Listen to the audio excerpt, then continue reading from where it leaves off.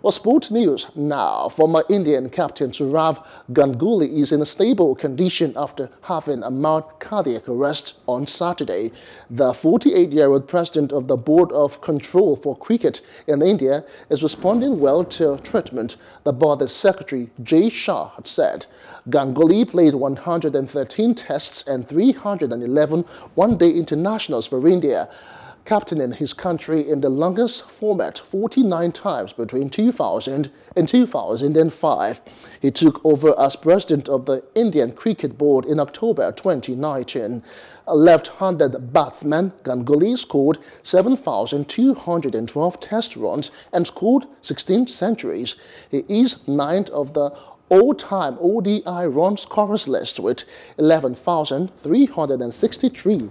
He scored 2,200 in 50-over format. Hello. Hope you enjoyed the news. Please do subscribe to our YouTube channel and don't forget to hit the notification button so you get notified about fresh news updates.